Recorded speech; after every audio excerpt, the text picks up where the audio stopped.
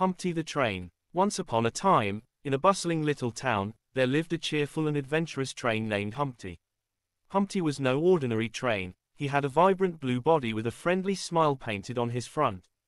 His job was to transport people and goods from one end of the town to the other, and he did it with great enthusiasm. One sunny morning, as Humpty chugged along his usual route, he noticed a group of children waiting at a small, neglected station. Their faces were filled with disappointment, for the usual train had broken down. Without hesitation, Humpty stopped right beside them and welcomed the children aboard. Their excitement was infectious, and the journey became a memorable adventure. Humpty made funny sounds, played cheerful songs, and even told stories along the way.